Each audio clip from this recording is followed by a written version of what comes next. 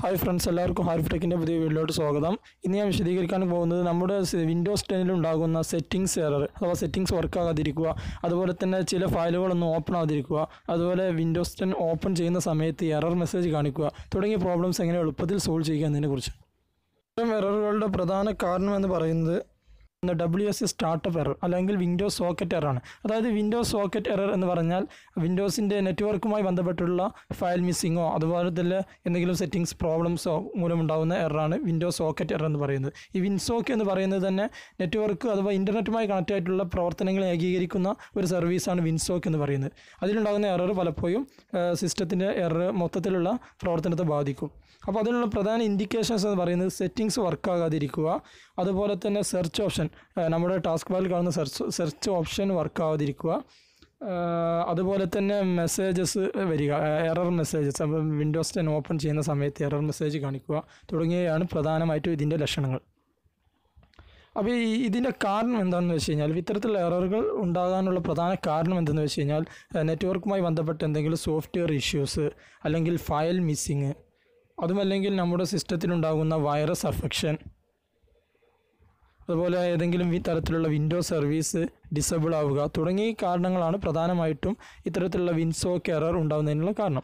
അപ്പോൾ വിൻസോക്ക് എറർ വന്നു കഴിഞ്ഞാൽ പലപ്പോഴും പലരും സോഫ്റ്റ്വെയർ ഒക്കെ ചേഞ്ച് ചെയ്യുക ഒ എസ് ചേഞ്ച് ചെയ്യാറുണ്ട്. പക്ഷേ അങ്ങനെ ചെയ്യാതെ തന്നെ വളരെ എളുപ്പത്തിൽ നമുക്ക് ഇത്തരത്തിലുള്ള പ്രോബ്ലം പരിഹരിക്കാൻ കഴിയും. അതാണ് ഞാനിവിടെ വിശദീകരിക്കുന്നത്.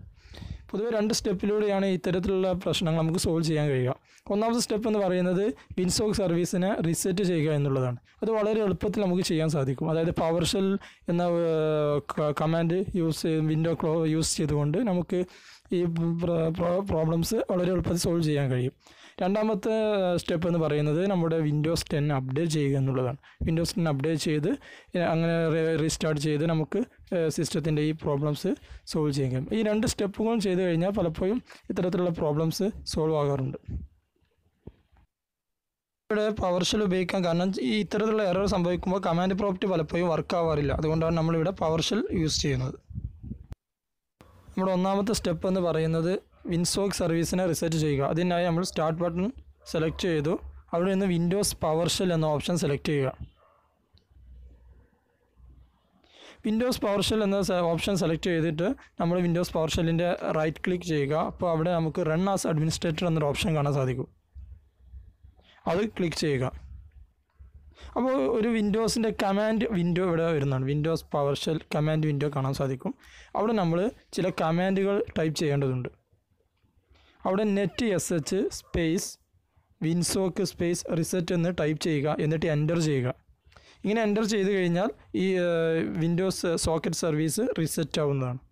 അങ്ങനെ എന്റർ ചെയ്ത് അത് നമ്മൾ അത് ക്ലോസ് ചെയ്യുക. അതിനുശേഷം നമ്മുടെ സിസ്റ്റത്തെ നമുക്ക് റീസ്റ്റാർട്ട് ചെയ്യേണ്ടതുണ്ട്.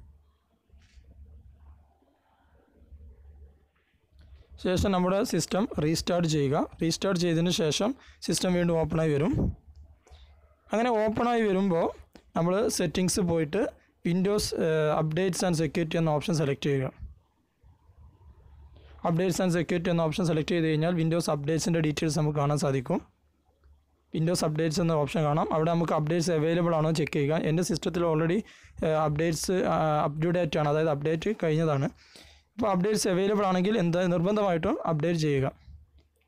എന്നിട്ട് ചെയ്ത് കഴിഞ്ഞാൽ ഉടനടി റീസ്റ്റാർട്ട് ചെയ്യുക. ഫ്രണ്ട്സ് നിങ്ങൾക്ക് ഈ വീഡിയോ ഇഷ്ടപ്പെട്ടാൽ ലൈക്ക് ചെയ്യുക ഷെയർ ചെയ്യുക. നിങ്ങൾ ഇതുവരെ എന്റെ ചാനൽ സബ്സ്ക്രൈബ് ചെയ്തിട്ടില്ലെങ്കിൽ സബ്സ്ക്രൈബ് ചെയ്യുക.